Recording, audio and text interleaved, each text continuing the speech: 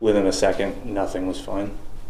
It was on this road, on Route 202 in Hollis, back in August, when three Maine State troopers and a trainee were responding to a domestic disturbance call around 11 o'clock at night when they were suddenly hit by a car.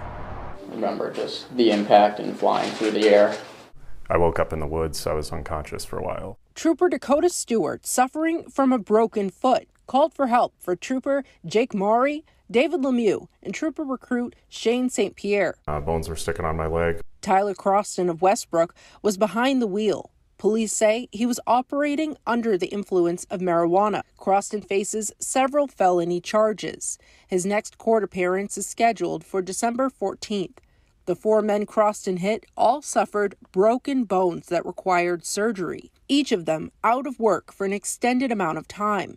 This Sunday, the Trooper Black Foundation will host a charity concert on the tour for the four, featuring local musicians 12OC and Toby McAllister at the Cross Insurance Arena in Portland. Very blessed, just the outpouring of support. I mean, it's unbelievable. It's nice that we're all still sitting here. Reporting for Maine's Total Coverage, I'm Talia Clark.